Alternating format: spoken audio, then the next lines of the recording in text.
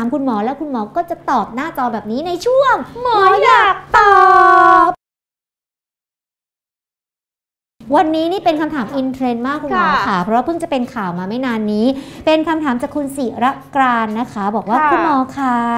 ขออนุญาตปรึกษาวิธีเลือกครีมกันแดดหน่อยค่ะค่ะ เพราะกะว่าหมดล็อกดาวน์จะไปเที่ยวหมู่เกาะทะเลใต้อะไรประมาณนี้ แต่ปรากฏว่าเมื่อไม่นานมานี้กรมอุทยานแห่งชาติเขาประกาศว่า ห้ามนำครีมกันแดดบางชนิดเข้าไปในอุทยาน จะมีโทษปรับ ทีนี้เราจะรู้ได้ยังไงว่า ประเภทไหนที่ห้ามเอาเข้าไปเราจะมีวิธีการสังเกตและดูยังไงคะอ่าจริงๆต้องบอกว่าทางการเนี่ยเขาประกาศอันนี้มาเนี่ยเพราะว่าเขาต้องการที่จะรักษาตัวปะการังรักษาธรรมชาติรักษาสิ่งแวดล้อมอืมมเพราะจริงๆเขาพบว่ามันมีสารเคมีที่อยู่ค่ะในกันแดดเพราะเรารู้ว่าเราเราไปเที่ยวอย่างเงี้ยเราต้องทาค่ะครีมกันแดดแน่นอนเลยค่ะแต่ว่าครีมกันแดดหลายๆ ชนิดเนี่ยมันไปทำลายตัวอ่อนปะการังค่ะโดยมันไปทำให้ไปขัดขวางระบบสืบพันธุ์ของเขาอืมแล้วมันทำให้ เป็นอันตรายต่อปะการังเป็นอันตรายต่อสิ่งแวดล้อมค่ะเพราะฉะนั้นแล้วเนี่ยเขาก็จะ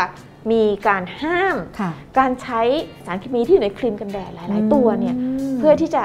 ลดปัญหาตรงนี้จริง ๆ แล้วบ้านค่ะเราเพิ่งมีแต่ต่างประเทศเนี่ยเขามีนานแล้วค่ะไม่ว่าจะเป็นอเมริกาหรือว่าใน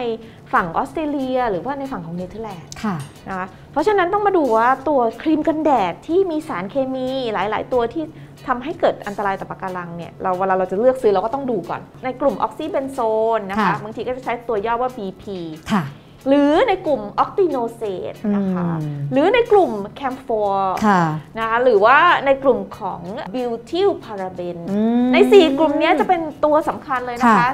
ที่เป็นตัวประกอบสำคัญที่อยู่ในกันแดดนะค่ะคะแล้วก็ทำให้เกิดอันตรายต่อประการังนะคะ ก็ต้องไปดูมในนี้ไม่มีสี่ตัวนี้ ปลอดภัยปสุลอดดยอดภัยต่อเราและสิ่งแวดล้อมใช่อันี้ใช้ได้ค่ะใช่ค่ะอืมเพราะฉะนั้นก็คือเวลาเราจะซื้อเราต้องดูว่ามีสี่ตัวนี้หรือเปล่า ถูกต้องสิ่งค่ะเวลาที่เราต้องดูครีมกันแดดเนี่ยค่ะสมมติเราจะไปเที่ยวต้องดูว่ามีหลายอย่างค่ะหนึ่งกันแดดได้ทุกรังสีหรือเปล่าอ๋อต้องขอแบบ full spectrum ค่ะต้องจัดเต็มค่ะค่ะกัน UVA UVB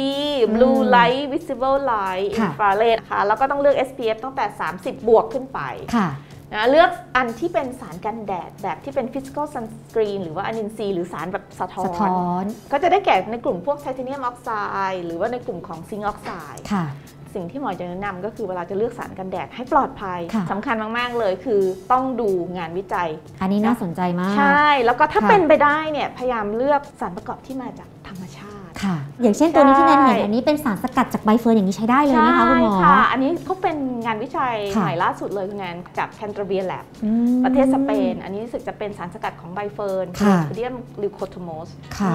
เป็นอืมสารสกัดที่มาจากธรรมชาติ หรือว่า Fernblock เทคโนโลยีเนี่ยเป็นวิธีการเลือกนะคะที่ค่ะปลอดภัย แล้วก็เขาเรียกว่ารักตัวเองก็ต้องรักโลกด้วย ถูกต้องค่ะ eco friendly เป็นมิตรต่อสิ่งแวดล้อมไม่ทำลายปะการังค่ะมันเป็นอืมเทรนด์ของคนยุคนี้นะคุณหมอใช่เนอะค่ะเราจะไม่ทำร้ายสิ่งแวดล้อม แต่เพเราราะเราก็จะต้องอยู่ไปกับเขาอีก ถูกค่ะต้องแล้วนะคะโอ้โหค่ะเป็นคำถามที่ดีมากจากคุณศิรการนะคะ ช่วงแรกผ่านไปใครมีคำถามอยากจะให้คุณหมอมาตอบหน้าจอแบบนี้ฝากเอาไว้ได้จะเป็นไลน์ at ของรายการก็ดรจุดอัจจิมานะคะ มี at sign นำหน้านะจ๊ะใช่ขึ้นหน้าจอนี้นะคะ ใช่ ช่วงแรกคุณหมอตอบคำถามเคลียร์เรียบร้อย